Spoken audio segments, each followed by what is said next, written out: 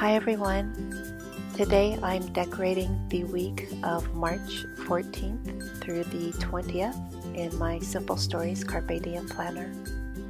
Since it is St. Patrick's Day this week, I stuck with a mostly green theme. I'm starting by using this light color washi and I'm going to cut it into flags and then lay it down along the bottom of each of the days.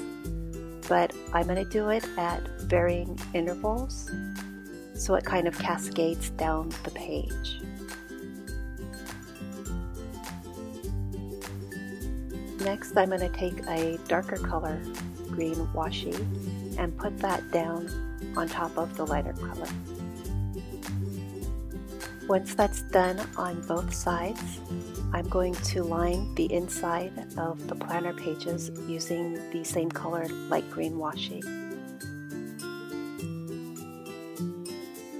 Usually I do two rows of this, but it's kind of hard punching out the little holes, so I decided to just stick with one row. For the dates, I'm going to make little, pa little page flags out of the blue washi.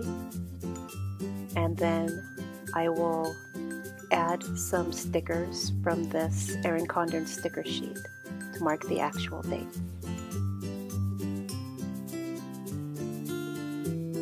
The last thing I'm going to do is add in my habits at the bottom of the page in the notes section. But that is it for this spread. I hope you enjoyed watching. If so, please give this video a thumbs up and subscribe if you aren't already. And I will talk to you in my next video. Thanks for watching. Bye guys.